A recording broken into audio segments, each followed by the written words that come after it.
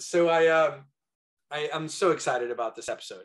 I um I know how much sustainability matters. You know, we just had COP26 not too long ago, and we we wrote a blog post. Uh, Polina here authored the the the blog post um, as part of our team, and the importance of sustainability in in, in business and and businesses thinking sustainably. And so to talk about that subject, I invited two of my favorite people on this planet, Joy Howard and Ingvar Helgason. I'll tell you um, a little bit about them in a second, but um, I think the products themselves, I'd love to to have them uh, tell the story about what they're working on a little bit more. Ingvar, I, I met a long time ago now, um, but he's got an amazing background in the world of, of fashion and and he's worked in understanding the, the types and needs of customers there. And, and Joy has also come from um, the retail side of things, uh, having worked at Patagonia and, and Sonos. So both very accomplished in understanding the needs of customers and how they behave and how they choose things. So with that, uh, maybe Joy, you can start telling us a little about a little bit maybe more about you, your team, and, and what you're building with Early Majority. Sure. So um, I founded a company called Early Majority. We kind of got going earlier this year. We were born out of the pandemic, like lots of, of new businesses. And uh, we're basically building a technical streetwear brand that makes outdoor gear for all eventualities. And we stand uh, for gender equality as a team. We're all we all very much rally around that ideal, and it's really important to us because we're operating in categories that have traditionally left out the woman's point of view. So we're a group of people who care passionately about um, making this kind of product and doing it in a way that ha- that reduces our environmental impact but also empowers women to lean out. And that's all about living a life where we are creating new structures rather than and, and new ways of living that connect us more deeply to the things that we care about primarily and, and many things that we were abandoning before the pandemic which are our activism, our sense of adventure, our connection to art, our connection to nature, our connection to each other. So the brand is really about that, and um, that's what we're making. Excellent, Ingvar. Thank you so much, um, Carlos, for having me here. Yeah, so um, here at VitroLabs, we're building uh, a new supply chain for leather. So uh, what do we do? We uh, create real leather, cultured leather from animal cells, and uh, we're really the mission is to decouple the leather industry from the food industry, from the meat industry, and uh, by creating a new source of leather, but a leather that you know, grow, growing hides that allow us to work within the within the established supply chains of companies and uh, really allowing the brands to have a new source of leather that has all the same properties that people know and love about leather and uh, gives the designers, the creatives, the same uh, ways of working with leather. So again, there's no, there's no, um, we don't have to compromise on the the qualities that can be made, the the the, the textures, the feels, the colors, and all those those different aspects that that um, that are really important for the creatives to be able to create these beautiful products that you have in market today. So um, we set out to create this new source of um, leather that uh, that can work uh, in, inside the existing frameworks that that are established in the leather industry and in the in the fashion industry. Awesome, awesome. Thanks for those introductions. I guess I wanted to touch a little bit on the nature of the consumer and to hear both on like your B2B perspective side, uh, Ingvar, and your uh, B2C side, Joy. I think in my generation especially we're kind of on the brink of knowing that there's real harm in some of the companies that we indulge in as purchasers purchasers um, but are also aware of like these new up and coming companies. But i think sometimes that like what i personally struggle on is differentiating whether like we know whether there's some greenwashing going on um, and also learning how to be like an activist activist in itself as a consumer.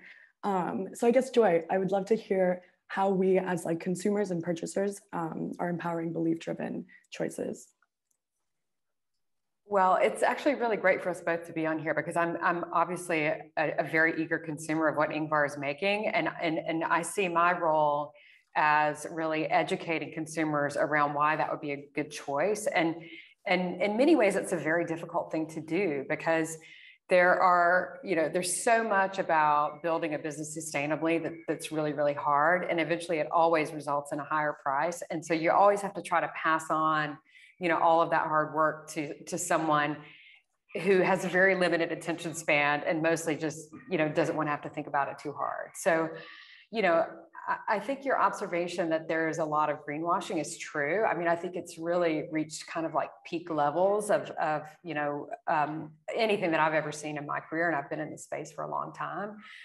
Um, and at the same time as, you know, it, you know, you want to be critical of greenwashing because I really admire companies like Interface. You guys may not know they're such pioneers in in sustainability. They actually have really embraced, I think, the only claim that anyone should be going for these days, which is carbon negative, right? They're actually they they are in such a carbon intensive industry that making an actual and they're carbon neutral, which is crazy.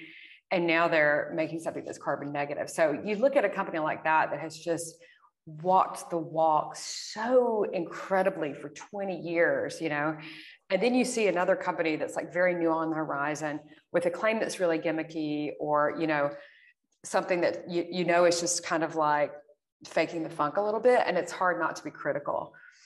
But what i would say actually is that i'm i, I am more um, accepting of some of these moves that people would see as co- kind of performative because it actually over time does lead to a change in consumers perceptions and their behavior right? So if you think about uh, a social change like you know marriage equality like there was a time when that was like a very controversial issue, but partly because so many companies kind of got on the bandwagon. Now we kind of all accept that, like, yeah, you know, everyone, you know, everyone should be able to love whoever they want. So I guess I'm of two minds about it. Like on the one hand, I think there's a lot of stuff out there that's very superficial, and it is really, really, you know, um, annoying to those of us who are working really hard to, to build something that's you know radically different and, and and very true to our ideals of sustainability on the other hand you know it's exciting to see that everybody wants to go there and that consumers are so interested in spending their money with companies that are working for a positive change and, and reducing their environmental impact. Yeah, to follow on that, I think, I mean, we've seen a huge shift in consumer behavior. Um, we've seen the understanding of people's actions when it comes to cons uh, cons consumption um, has um, it's, it's, it's, a, it's, a, drastic um, change that we've seen. People are asking questions of the companies that they're buying from now, uh, because of course now we do have this we do have this kind of direct almost um, access to the brands that we love um, through social media and through through other channels so, so those questions can be asked directly, and um, and and it's really telling which companies are answering the questions and which companies are you know just brushing it away. So I think consumers that uh, the consumers of today like to have a dialogue with their brands, not just kind of top down. We make this product, buy this product because we tell you to, but it's really kind of a dialogue that has uh, that has started to happen, and uh, that is something that allows, of course, consumers to ask those harder questions of companies. And, uh, and I feel that companies that can answer those questions honestly and openly and ideally with some data behind it. I know that you know um, anything that where you know companies creating life cycle analysis and and and um, and things like that. I think I mean it, it takes time. Um, it's amazing how little information that is about how we used to do things um, so there's a lot of hard work that needs to be done on just kind of the, the, the fundamentals of understanding the impact that, the, that we were having before. Um, and um, so that that is something that takes time, but but that conversation is already happening and that work is already being put uh, put put in place. So kind of creating the foundation of understanding how things were um, is essential to then being able to show how we can do things better. Because of course, if we don't have that insight, if we don't have that understanding, we won't be able to make the necessary changes. So again, going back to greenwashing, yes, absolutely. There are a lot of companies that kind of not ne don't necessarily talk too much about kind of the actual impact that they're having rather than they just talk about kind of we're having a good impact. So I think you know now and and and in the years to come, it'll be much more important to have those Um, and we're not going to be asking people to read through a hundred-page report, uh, detailed report on uh, on on kind of the the kind of detailed impact that companies have. But but really, I mean, getting the kind of getting the highlights out there, getting the creating kind of easily digestible um, slides that people can kind of can comprehend and can make informed decisions about. So I think the consumer today is asking those questions and uh, some companies have been doing this for a long time, being really uh, open and honest about kind of the impact that they're having. But uh, but we're going to see that sea change of of of of the kind of honesty as brand um, have to they have to be honest towards their consumers. So following up on that thread about being honest with your consumers, you guys are consumers as well. I mean, maybe more specifically, uh, well, mm, to some extent you, Ingvar, but Joy specifically consumers of a supply chain. And that supply chain is part of the the problem and and one of the interesting things that I heard about, and maybe this is not true, but I, I, I read it somewhere, uh, that in COP26 there was a, a, fleet of Teslas that were being charged with diesel generators because there weren't enough charging points, right? And so it's like you, you have this front end that's authentic. Here's this Tesla, and then the back end is as carbon inefficient or as as um as as polluting as anything else. And supply chain is a huge part of it. And the reason why I said consumers because Ingvar, you are part of the, the supply chain and you're part of that solution. So maybe we'll start with you, Joyce. Like, tell us a little bit more about um, what the the the transfer risks for for you are from migrating from let's say the usual suppliers that have decades of experience delivering high quality products um, to a more sustainable supply chain, delivery times, quality of product, you know, all the things that we've cracked uh, now being reopened with a new supply chain? Well, actually, I mean, the, so first of all, there have been so many challenges, and, and one of them is actually a, what you call a great problem to have, which is there's so much demand for sustainably produced materials that there's incredibly long lead times, like intense competition for them.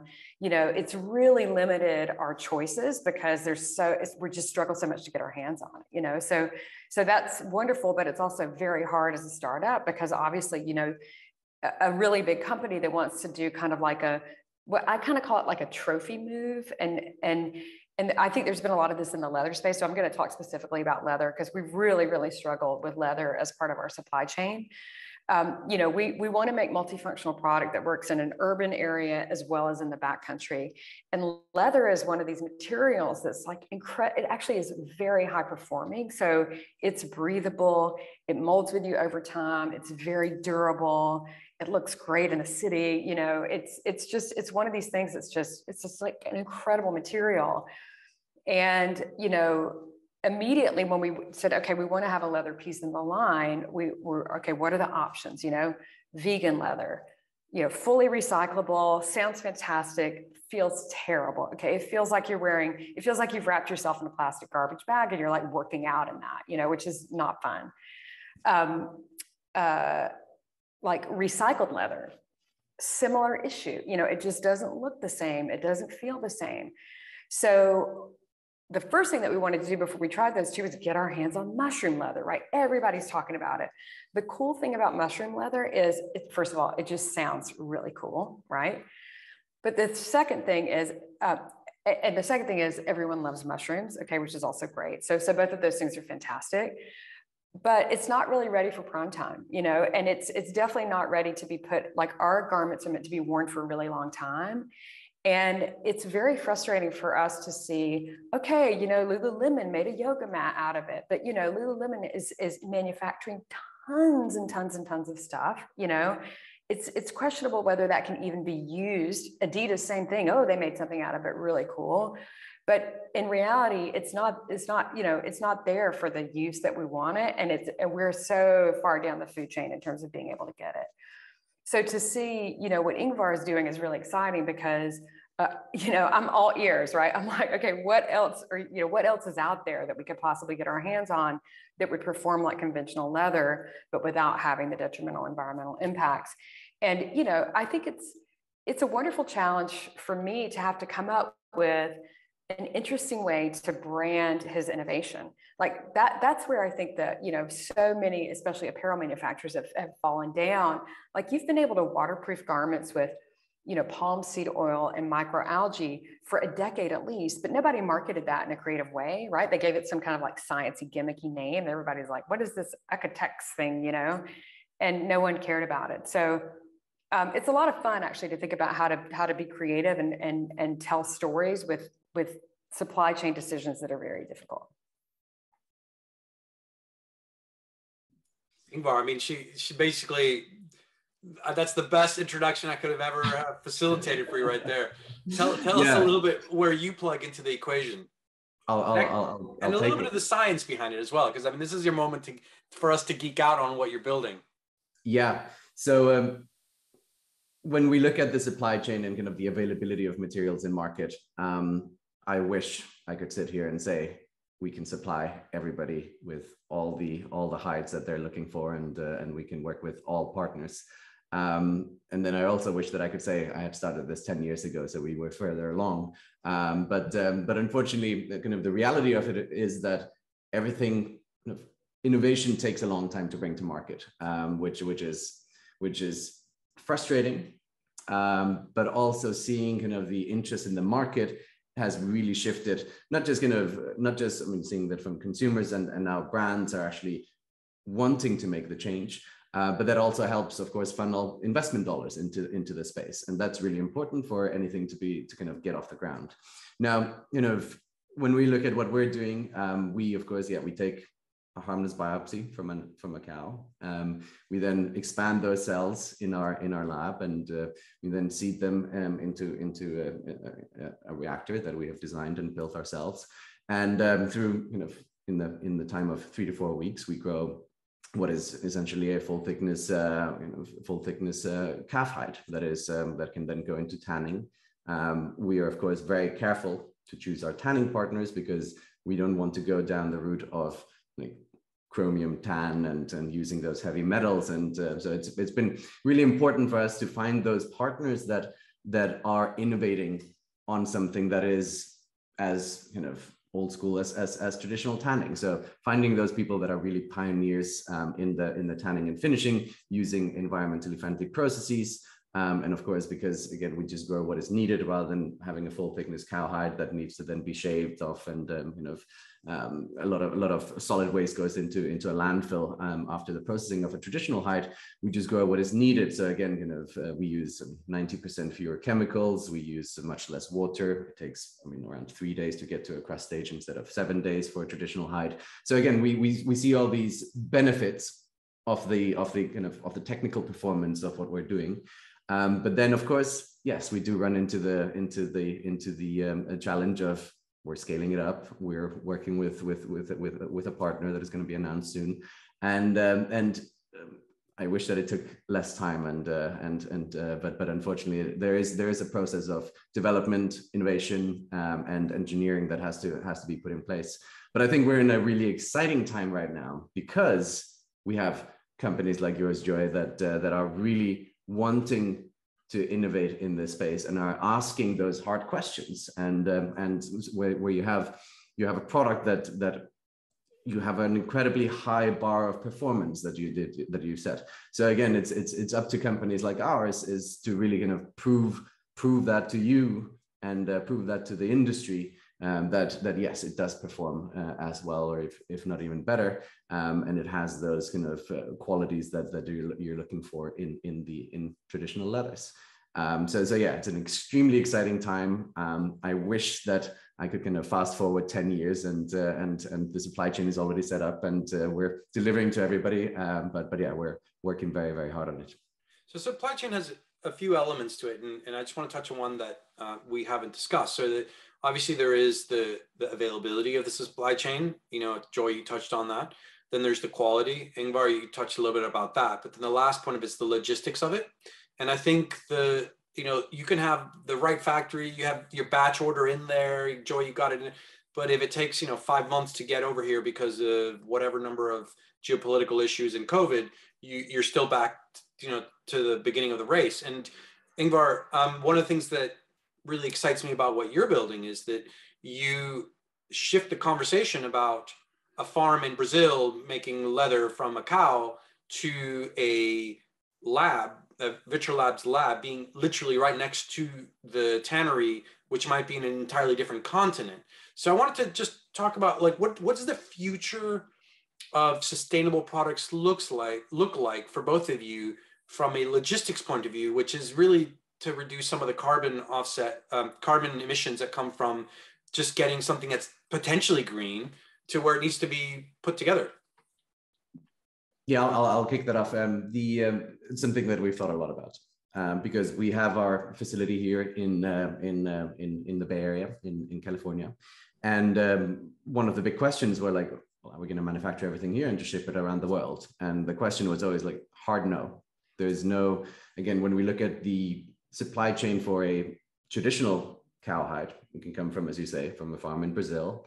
Um, it then gets shipped halfway across the world to um, to uh, where it gets processed into a, into a crust, whether that is in India, in Cambodia, in in, in Ethiopia, um, and then that kind of crust stage, which is um, kind of the technical definition of like a, where it has been um, where it has been changed from a living hide into into kind of it's been the uh, collagens has been have been cross-linked all the kind of the living parts of the hide have been have been removed of course then in that crust stage then it gets shipped to europe for for retanning and, and finishing so again a hide can travel around 17,000 miles before it actually reaches the place of production now, from a supply chain standpoint, how it is done now, it has made sense because it is a byproduct of the or co-product of the meat industry, depending on who you talk to. But um, and then uh, so again, kind of that supply chain has been very fragmented.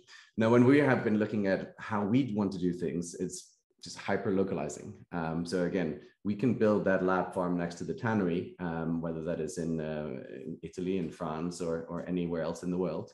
So and then we can dial up and down the demand with uh, with just a few weeks notice instead of having to i mean we have we've seen that some of those large um, you know large luxury companies have started buying kind of abattoirs or farms just to have it kind of to to to secure their supply chain so so it's really important for us to be able to grow locally process locally and make into product locally and uh, that of course saves well, not just the carbon emissions from, from a global, um, global supply chain, but also allows um, brands to move much faster when it comes to actually making the product that, uh, that they're looking to make. Um, because of course, demand can be quite elastic. So again, there, there might be a huge surge, surge in demand for a specific product when you can know, when you know that you can have those hides tanned, grown, tanned and finished um, in a month and a half rather than having to wait six to six to 12 months for, for the traditional supply chain um, to, to function and kick into gear. That is something that, that brands, of course, and ultimately consumers will benefit from. How are you thinking about that, Joy? Oh, so so actually, very naively in the very beginning, we thought, okay, you know, we have all these options of where to produce, but we were in the middle, you know, of COVID basically when we decided to to get going, and so we we chose to produce in Portugal because it's close to us and we knew that it would be easy to get there. It's within the EU, we're in Paris. And so, you know, we thought, okay, look, at least we're going to minimize, you know, as much as we can in terms of like, you know, transportation from Asia and shipping from Asia and all that stuff. It's still, it's, you know, it still turned out to be a huge issue because the lead times for, there still are ingredients, if you will, in the garments that come from all over the world, you know, just as you just described. And that because the supply global supply chain is in such a state of disruption right now there we, we get lead times for things that are just like unprecedented. You know we're, we're, we're working with one of the i consider the best factories in the world. They really know what they're doing and they've they, you know they're seeing like for example one of the things that really you know stumped us lately is zippers you know we're making something a big part of our sustainability focus is to make something that's multifunctional and modular and do you know how you make something that's multifunctional and modular? Takes a lot of zippers to do it, you know? And the, the zipper supply chain is crazy right now. Like nobody ever seen anything like that. It's like, oh my gosh, we might miss out, you know, this could delay our launch for nine months actually, because we miss the whole season if we can't sort the zipper situation out. But I'll give you another area that we also hadn't expected, and that is um, so, so basically everyone's having to be very agile and responsive, but there are some ways in which choosing sustainable materials can, um, you know, just constrain you in ways that you hadn't anticipated. And another way for us has been um, you know, there's so much waste associated with e-commerce and everything that we're shipping is going to be in, you know, biodegradable packaging. We actually have these, um, you know, the hang tags are made out of seed paper so you can plant them and then, you know, water them and something will grow. Sounds great, right? But it has a shelf life. Like used to be, you could order packaging, you just let it sit on the shelf for like three years and, you know, work through it all. But now we actually have to deal with like a shelf life of the packaging itself because it's organic matter. So um, it's it's been an adventure, I have to say. Yeah, it's interesting you bring that up. I've, I've heard that um, brands, um, larger brands like larger food retail brands, for example, one one company in particular that I know that they had to make a decision about what packaging they use for like food products, and they did have an option for a more uh, sustainable um, option, but they said they it, it reduced the shelf life in a supermarket by half, which meant that the the the supermarkets had less time to to, to sell the items, which would in theory kind of include wastage because if they didn't sell it, then it ends up in a bin anyway. So like, how, how are you guys seeing that balance uh, being managed by brands? How, how are they managing this sort of trade-off between going gung-ho on things that, you know, potentially are actually premature, they sound good on paper, but prematurely you're actually just predisposing them to go to the bin. And then also what, what is the role that brands need to have in recapturing uh, used products. You know, you look at Apple is now taking products back because I mean, there's it's there are heavy metals and there's valuable metals in, in, laptops, but we're talking about like clothing retail products. And is there only a matter of time till till that happens? So maybe maybe feel free to touch on those or both or, or either or. Well, the I mean, we we kind of joke that like you know if, if we're making nothing, we definitely don't have any kind of sustainability issue. It's like, you know, the most sustainable brand is one that actually makes absolutely nothing. So we always try to keep it in perspective that first and foremost, we have to make something that people really want. And, and that's that's really where our focus is. And all and I think people want something that's sustainably produced, but they want a lot of other things too, right? They want to just to get back to your Tesla example, like Tesla has been such a huge success, not just because of its environmental bona fides, but because it so strongly signals environmental bona fides by the people that drive it. You know, so there's a there's a lot to um, kind of think about. But to, to get to your question around, you know, circularity and sort, which is basically what the apparel industry is calling, you know, producing with the end in mind and, and, and taking full life cycle responsibility for the product one of the coolest things that I'm seeing is actually a lot of competition for within brands to get their garments back because we're now all realizing how valuable it is to actually be able to resell our own garments. So that's actually a very strong focus for us as well is how do we launch in a way that makes sure everything that we make comes back to us so that we can then pass it on to other other customers. And by the way, you know, just I think, you know, I was a part of the team at Patagonia that launched Worn Wear. We had such resistance to launching that. I mean, everyone would say, oh, you know, you put used items on the website and nobody it's going to just you know kill the brand. It's going to you know undermine the credibility of what we make from a technical perspective. It's just going to be a huge turnoff. Everything's going to feel like a thrift store. And that has turned out to be completely wrong. Like people really love it. They love knowing that, that they're the second user of something. They love knowing that they're passing it on to someone else. So um, i think you just can't you really have to question a lot of preconceived notions about consumer behavior because everyone will always say to you like oh you know you, you can't change it. But like actually that is the most fun that you know that's kind of like the funnest challenge in the world for me is to find a way to tap into people's innate goodness innate desire to, to you know have a positive impact on the world and and shape their behavior in that way. Maybe Ingvar, if, if you want to touch on, on that a little bit but also on that on that first point as well regarding how how are you seeing the people you're collaborating with balance going too far down one path and it turns out it's more wasteful than than, than the alternative yeah, and so there's a lot of again, kind of going back to my my my the first point that I made uh, when we started the podcast is around kind of the understanding of the impact that different uh, materials have or different different processes have, um, and it's something that kind of I, I, see that companies are putting a lot of work into. Some some have already done that for, for for decades. Others are just starting out, but really understanding kind of what is the impact that every single component or part of the process has.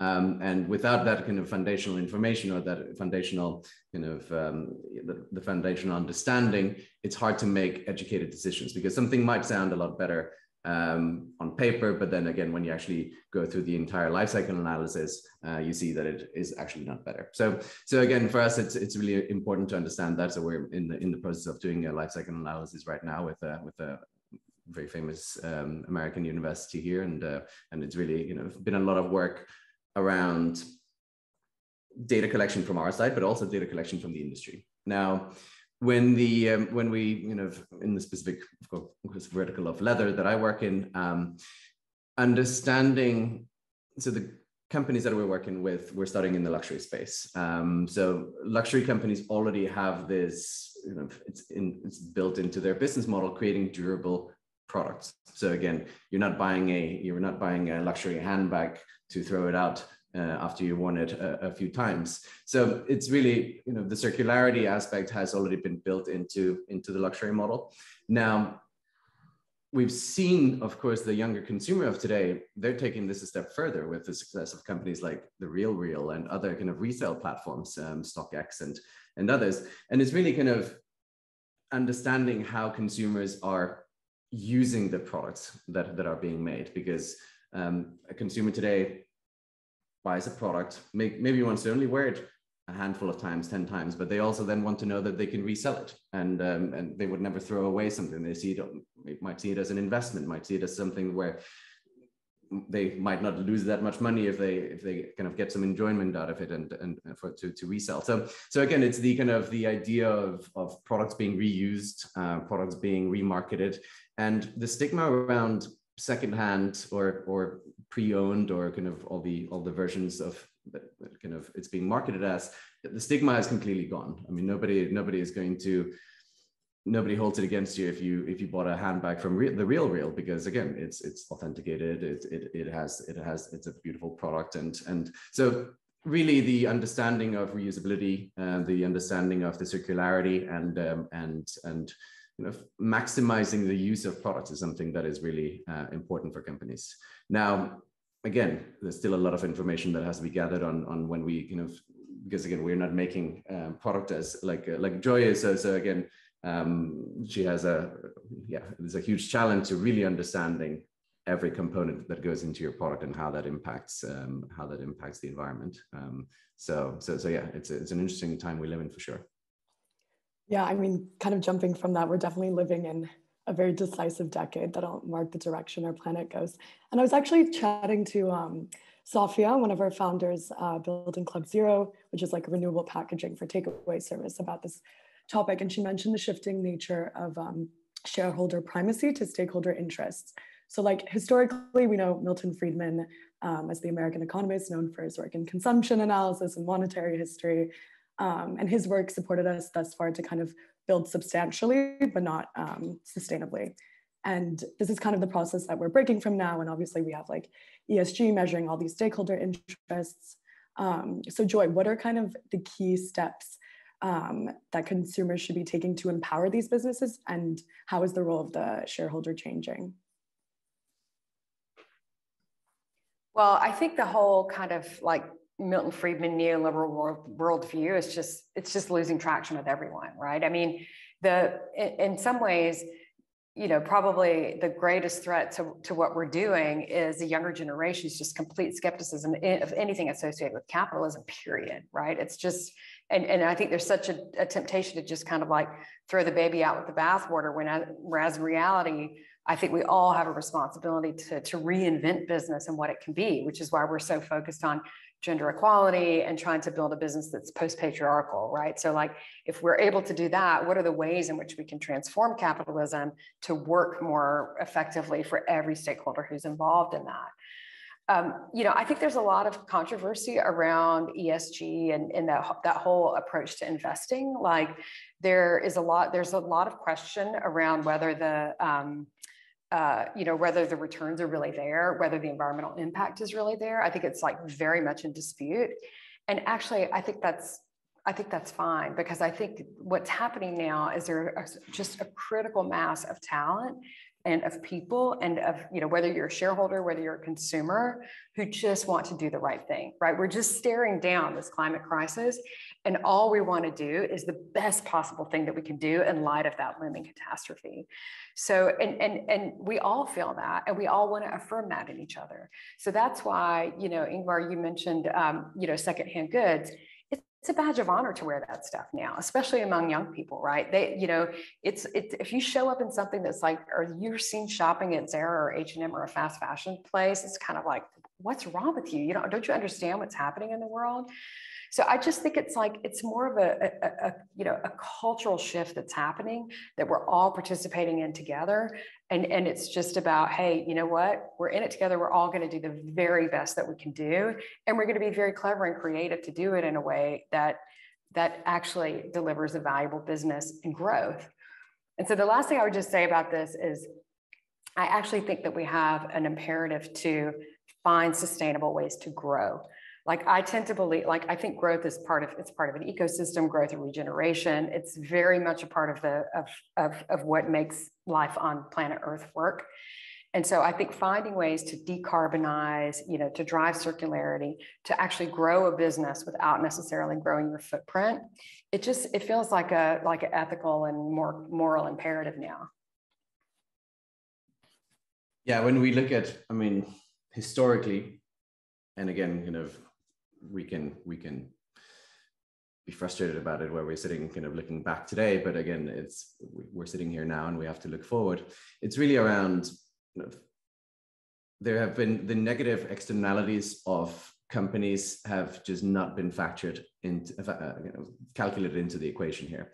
So it's it's really i mean when we look at you know, carbon emissions for example i mean they're not priced into what we're buying. Um, so I would love to see, and I hope that this is a change that will happen in some countries, probably quicker than others, but where carbon is actually going to be taxed, or at least the subsidies for companies that are you know, emitting a lot of carbon um, get, get, get reduced. Um, so, for example, I'm in the um, industrial animal agriculture uh, industry in the in the U.S. Um, they get, I mean, over the last 10 years, they've had 150 billion dollars worth of subsidies. Um, so again, that's around $10 billion a year. Do I think that the US will ever start taxing kind of carbon emissions from, from livestock? Probably not. Um, but, but again, kind of, we can at least level the playing field in terms of um, in terms of either removing subsidies or starting to give subsidies to companies that are doing something that is better for, for the environment because again we're not for everything that we consume we're not paying the real price um, so I think that's going to be a really, uh, really important uh, next step. So both from a from a from a from a consumer perspective, understanding that yes, um, sustainable products, sustainability, sustainable sustainability being a very broad term, but but you know products that are good for the environment, they do cost more money. That education education has to happen, um, but also from an investor's perspective, um, because of course investors do have um, a lot of say in when it comes to policy and, and I mean they, they can make their voice heard. So I think we've seen we're seeing a huge shift in in, in you know money going into uh, into ESG companies or companies that are doing um, something better for the climate. So so it's yeah trying to level the playing field, um, education of, of consumers, and then again i'm going to just make this point one last time it's like the understanding and kind of the building the foundation of understanding of of the negative and positive externalities of, of products that are being made. So I think that's a just a, the education part. Yeah, on the education point, Ingvar, I, I agree. One of the fun questions I, I ask at uh, end of podcasts in the past, sometimes around how do you link that? And one example that I give is like capitalism is around um, helping a fishing company sell more fish with no linkage to the reproduction cycle of that fish. So you're perversely incentivized to overfish because that's how your stock price goes up. And at the moment, there is no quantitative method by which you can factor in that that um, that stock of fish into the price of fish. So you, you you're not preventing the market from from existing. You're just pricing that in, and that isn't currently there. And I think that's going to be part of the future. So that totally totally agree with that point. So we're going to conclude with a fun question for both of you. Um, if you uh, if, if, you don't uh, have a book that comes to mind, um, you can make one up, or you can tell me how it is. So, which science fiction book do you think will most likely represent our future? And if you don't have one that comes to mind, paint an image of what you think the future in 10 years will look like based on what's going on right now on both the climate side of things and societal change that's going on in 2021. I'll start with a book that I've read. I hope that it I hope that that will not be the case because it's quite dystopian, but Min- The Ministry for the Future by uh, Kim Stanley Robinson, um, I think is an incredible book. It is very scary. Um, it doesn't kind of leave you feeling too good after reading it, but it is a very insightful and very, um, very well written account of um, uh, a future where climate change has absolutely run amok. And uh, so I, I, I hope that we will be able to improve uh, our, our our our ways um, before before it hits. But yeah, it's an incredible book. Okay, I'm going to recommend two. Cheat a little bit. Okay, so and the and the first and they both have a lot to do with our brand that we're building. So the first is uh, William Gibson's pattern recognition, and um, in some ways, I hope the world really looks like that in the future. It's slightly dystopian, as William Gibson often is, but uh, the heroine is very much amused for early majority. So she has this very streamlined, minimal way of dressing. Um, she's her name is Cayce Pollard, and she wears these things called Cayce Pollard units, which she calls CPUs. And uh, that kind of like she has also has very strong brand intuition. She's sort of like a brand soothsayer. So pattern recognition by William Gibson, highly recommend it. We're essentially making CPUs. Um, and then the second one is uh, Charlotte Perkins Gilman wrote a book called Herland, which is kind of a feminist utopia. And I think that's a really important book to read because things go kind of wrong in that feminist utopia. And the reason that they go wrong is because there's not enough diversity in the community. And it turns out that when everyone is the same and they all think the same thing, things get really gnarly. So I think that's a really important one to remember because we, you know, you, you know, women can't be liberated unless men participate, obviously, you know, and it's so much more fun when we're all working together. And I think it's the same with any kind of, um, you know, any kind of utopia that we may dream of together. It's it's only going to be great to the extent that it's really diverse. Well, I am so happy to be part of both of your stories. Um, if there's anything I'm left in the world here with a legacy, it's having been able to be part of your both journeys. So with that, guys, thanks for joining. Thank you Thank so much. You. Thank you. Thank you. guys. Next time. Great to be here. Thanks.